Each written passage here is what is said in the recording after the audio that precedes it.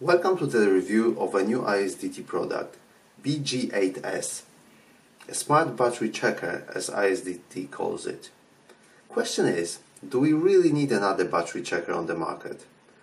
Let's find out, shall we? First, let's have a quick look at the package content as it contains a couple extra items. Normally with ISDT, there are no extras included.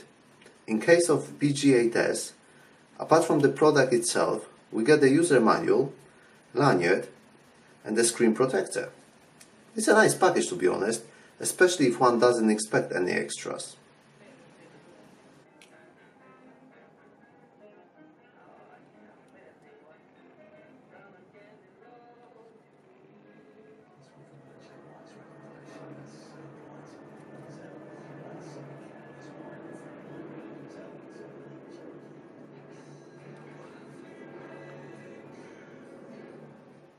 In terms of user interactions and user interface, there is not much I can show you here. The reason for that is this is a very simple product and the user interface is very straightforward. So after plugging in a battery, we have the main screen which shows the battery information including individual cell voltages. To get to the main menu, we press the middle button and from the top we have language selection we have backlight settings. Let's go from low through middle to high. The high setting is really bright which makes this tester very easy to use outside. The volume setting we can switch it off select to low middle or high. The system information for you. Receiver tester. At the moment we can test S bus and PWM receivers alarm tone goes from off to single to repeat.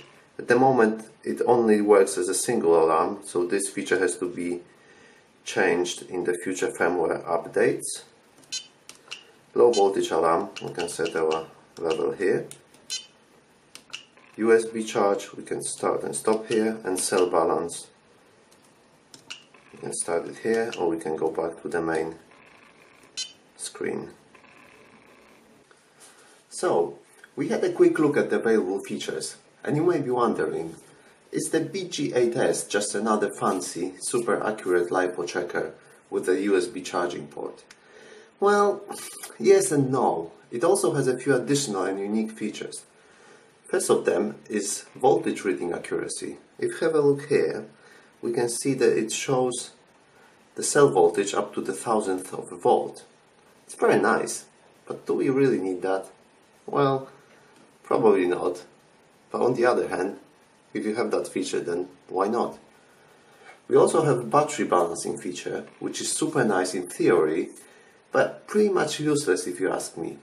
First of all, we have our chargers to do that job for us, and on top of that, it takes forever to perform the task. Let me show you.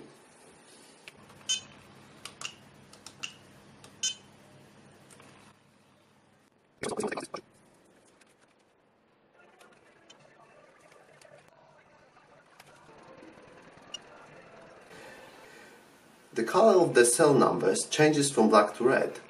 When it's red, it means that the cell is being discharged. The black cells are the ones being charged. As you can see, it's taking forever to fine balance this battery that wasn't even massively unbalanced to start with. We are talking about the thousandths of a volt. Apart from that, there is also a receiver tester function which allows to test PWM and S-Bus receivers. According to ISDT website, other protocols will be added through future firmware upgrades. This is quite a useful feature, especially if you have to test your receiver in the field. I'm not 100% sure how you're supposed to connect a receiver to the um, device, as the user manual doesn't mention that, but I would imagine it has to be through the balancing port as there's no other inputs on the device apart from that. One thing I really like about the product is the inclusion of the USB charging port. This is quite a unique feature actually, because it's not just an ordinary USB charging port. It is compatible with Qualcomm Quick Charge 3.0 and 2.0. Unfortunately, I don't have any compatible devices to test that, but the port doesn't have problems delivering 3 amps at 5 volts. I cannot push the tester any further as overcurrent protection kicks in after 3 amps, but this is a solid performance nevertheless. Next thing I want to mention is the screen. I should have probably started with that. Why is this even worth talking about? First, the screen is super bright, which makes it easy to read in bright light. It has 260k color display, which I cannot verify, but the screen does look fantastic. The resolution seems to be quite high as well, which I hope you can actually see in the video. Let me just show you.